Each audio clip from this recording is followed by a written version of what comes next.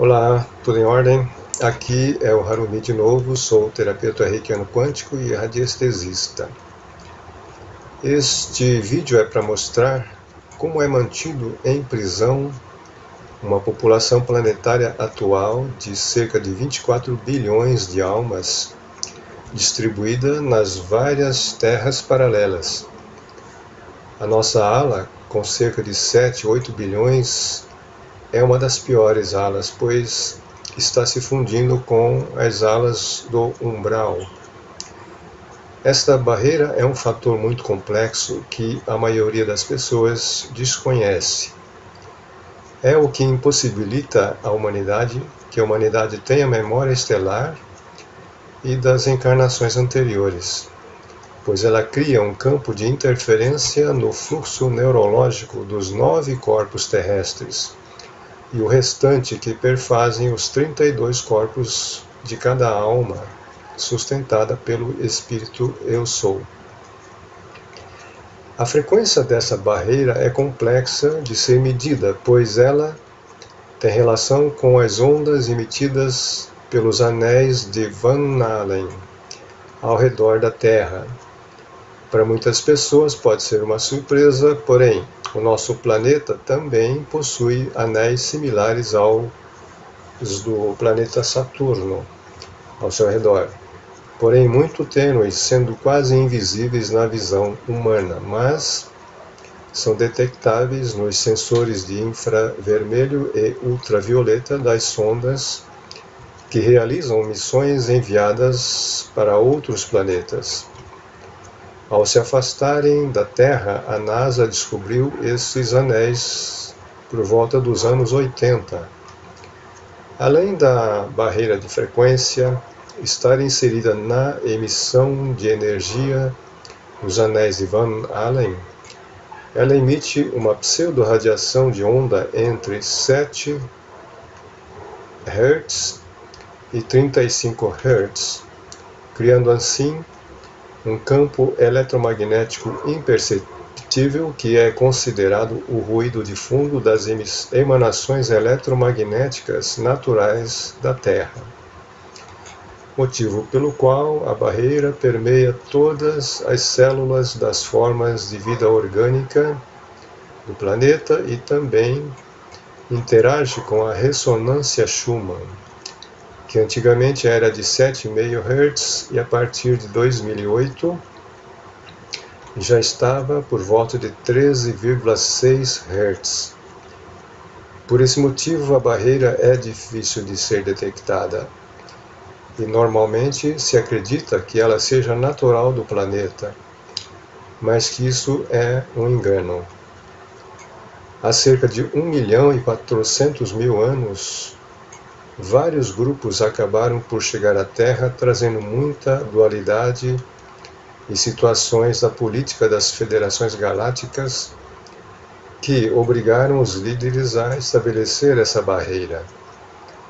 Ela foi ativada com a chegada dos Anunnakis e os grupos da constelação de Pegasus, da estrela Marcabe ambos povos renegados da Federação e com tendências políticas anarquistas. Dessa forma, há cerca de 530 mil anos, uma barreira foi estabelecida e ela tinha por objetivo apagar a memória estelar das almas e criar uma condição inovadora evolutiva onde o coração e as emoções são a base da evolução.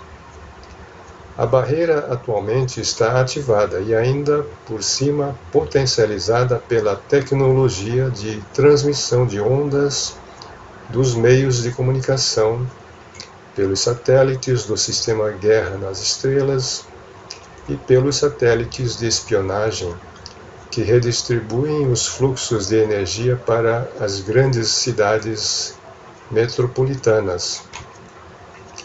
Isso para manter a humanidade controlada e submissa aos abusos de poder dos políticos governamentais. Os governos secretos da Terra controlam toda essa estrutura tecnológica. Atualmente, a barreira de frequência é alimentada pela rede de comunicação dos satélites e rede de comunicação dos celulares, que emitem suas mensagens subliminares entre 8 Hz a 15 Hz. Com essa malha de propagação, os líderes dessa tecnologia, que podem ser definidos como os sustentadores da atual situação política mundial, estão mantendo as linhas de comunicação com os impérios do umbral, que também emitem pulsos dentro da frequência do hidrogênio e do silício. Sendo que em emissões de pulsos 12 por 60 desde as cidades tecnológicas do umbral em sintonia com os sistemas de comunicação por satélites. A frequência de 12 Hz é muito comum e baixa, passando desapercebida, o que lhe permite irradiar dentro da barreira de frequência como eco.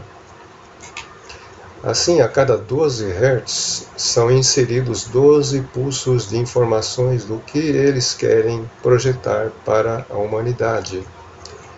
Portanto, a cada 12 segundos, todos recebem 60 comandos subliminares que entram inconsciente, no inconsciente coletivo da humanidade, através do córtex cerebral dos cidadãos mantendo a situação política mundial absurda que vivemos sem conseguir mudar ou melhorar, pois ninguém se dá conta disso. Isso é o efeito dessa propagação de informações subliminares dentro da psique humana. Existem determinados aparelhos modernos do governo secreto que controlam a emissão planetária dos impulsos de controle psíquico e mental da humanidade dentro dos grandes centros urbanos. Um deles é conhecido pela sigla HARP, que podem modular informações subliminares de até 150 Hz, o que permite interferir no padrão mental de seres de até outras realidades paralelas, atingindo inclusive os ETs, Greys, Zetas, Dracos e os reptilianos que habitam cidades intraterrenas em diversos pontos do globo, mas os mais afetados são os que se localizam nos Estados Unidos. Essas antenas HARP estão espalhadas pelo planeta, até o ano de 2009 estavam em funcionamento pleno cerca de 12 dessas, com previsão para ativação de mais uns 5 em modulação de laser até 2012, sob o pretexto de conceber uma malha de proteção contra a invasão dos Anunnaki novamente. Esse equipamento HARP faz parte do projeto Guerra nas Estrelas, que envolve diversos países de ponta. Toda essa tecnologia acaba por fortalecer a estrutura da barreira de frequência e outros mecanismos que impedem o ser humano de captar as energias estelares e dos seus corpos sutis. A barreira de frequência passou por várias alterações em seu campo energético Originalmente, antes da destruição da Atlântida, ela atuava entre as dimensões 3D a 5D. Porém, com a destruição desse continente, ela teve que ser ampliada para a dimensão de 7D, criando assim um bloqueio na percepção da população até da dimensão astral e demais níveis etéricos do planeta. O que acabou gerando então a condição de amnésia planetária.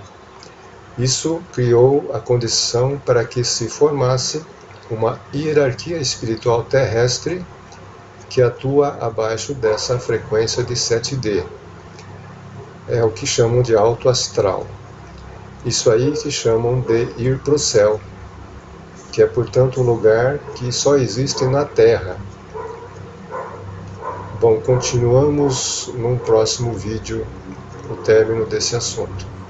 Se você está no YouTube e gostou desse conteúdo, clique em curtir e deixe seus comentários e sugestões aí abaixo. Clique em cadastre-se para ser informado dos próximos vídeos do meu canal. Se você está no meu blog, também tem um botão de curtir, tem também lugar para deixar os seus comentários e sugestões aí abaixo. Aqui dá para baixar também gratuitamente o meu e-book Vivendo na Terra dos Palpites. Obrigado, até a próxima.